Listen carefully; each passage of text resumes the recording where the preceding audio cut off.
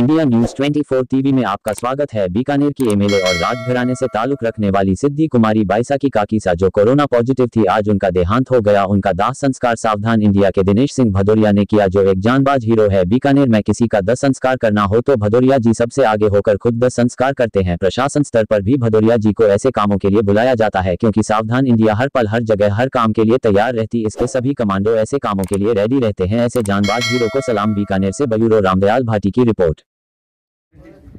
लो चालू कर ले हाँ, जल्दी चालो जल्दी चालो जल्दी।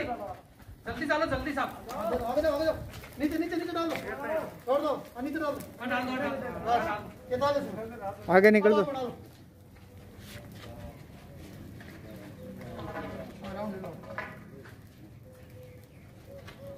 श्री राम राम लो राम राम करो